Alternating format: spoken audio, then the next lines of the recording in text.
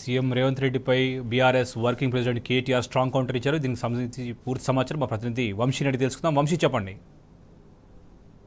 సేపటి క్రితమే తెలంగాణ భవన్లో BRS party working president KTR గారు అటు ఏదే ఏదైతే మీడియాతో చిట్చాట్ చేసినటువంటి పరిస్థితి కూడా మనం చూస్తా ఉన్నాం. అందులో ప్రధానంగా రెండు అంశాలను కూడా ప్రస్తావించడం జరిగింది. ఒకటి మేడిగడ్డ బ్యారేజీకి సంబంధించి అక్కడ జరిగినటువంటి ఒక పిల్లర్కి సంబంధించినటువంటి పగులకు సంబంధించి కూడా దాంతోపాటుగా రేవంత్ రెడ్డి విసిరినటువంటి సవాళ్ళకు సంబంధించి ఈ రెండు అంశాల మీద కూడా ప్రధానంగా వారు మాట్లాడటం జరిగింది. ప్రధానంగా ముందుగా మనం మేడిగడ్డ అంశానికి సంబంధించి చూస్తే మాత్రం కాళేశ్వరం ప్రాజెక్టులో మేడిగడ్డ బరాజ్కి సంబంధించి ఏదైతే పిల్లర్లలో జరిగినటువంటి లోపానికి సంబంధించి అది బూచిగా చూపిస్తూ కాళేశ్వరం ప్రాజెక్ట్ మొత్తాన్ని కూడా బద్నాం చేసే ప్రయత్నం అనేది ఒకటి చేస్తున్నారని కూడా చెప్తా ఉన్నారు. బీఆర్ఎస్ పార్టీ మీద అటు పగతోటి కోపంతో రైతులకు అన్యాయం చేసే విధంగా ఏదైతే మేడిగడ్డ బరాజ్కి సంబంధించి సంబంధించినటువంటి మరమ్మతులు చేయకుండా ఆపినటువంటి పరిస్థితి కూడా మనం చూస్తున్నామని కూడా వారు ప్రధానంగా వ్యాఖ్యానించినటువంటి పరిస్థితి కూడా మనం చూస్తా ఉన్నాం. అందులో ఏదైతే మార్చ్ నెల దాటితే కనుక రైతులకు నీళ్ళు ఇచ్చే అవకాశం ఉండదని కూడా ఇప్పటికే ఏదైతే అధికారులు కూడా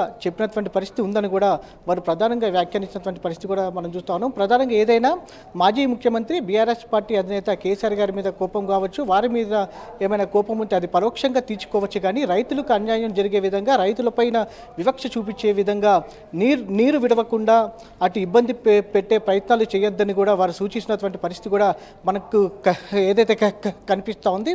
మరోపక్క కేంద్ర ప్రభుత్వం ఎన్డీఎస్ఏ ఇచ్చినటువంటి రిపోర్టు ఏదో రెండు రోజుల్లో అడావిడిగా చేసినట్టు ప్రధానంగా కనిపిస్తుందని కూడా ప్రధానంగా రాష్ట్ర ప్రభుత్వం ఇప్పటి వరకు ఈ మేడిగడ్డకి సంబంధించి ఎక్స్పర్ట్స్ కమిటీ వేసి ఎందుకు విచారణ జరుపుతలేదు అనేది కూడా అటు రాష్ట్ర ప్రభుత్వాన్ని ప్రశ్నించినటువంటి పరిస్థితి కూడా మనకు కనపడుతూ ఉంది.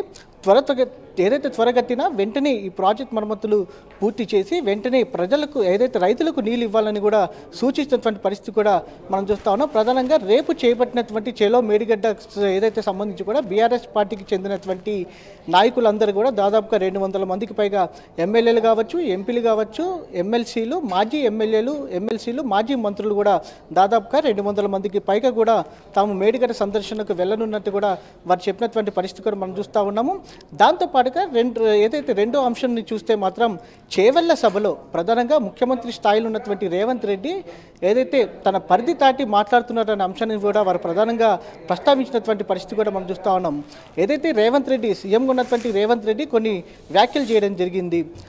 ఏ- ఏదైతే ఒక్క సీట్ అయినా గెలువు అని బీఆర్ఎస్ పార్టీకి మాట్లాడుతున్న నేపథ్యంలో మల్కాజ్గిరి ఎంపీ సి- సిట్టింగ్కి సంబంధించి కూడా సీఎంగా రేవంత్ రెడ్డి అటు కొడంగల్ నియోజకవర్గానికి రాజీనామా చేసి వస్తే తాను కూడా రాజీనామా చేసి పార్లమెంట్ ఏదైతే మల్కాజ్గిరి ఎంపీ పార్లమెంట్ సెగ్మెంట్కి సంబంధించి కూడా ఇద్దరం కలిసి పోటీ చేస్తాం. దమ్ముంటే గెలువని కూడా ఒక సవాల్ విసినటువంటి పరిస్థితి కూడా మనం చూస్తూ ఉన్నాం శోభన్.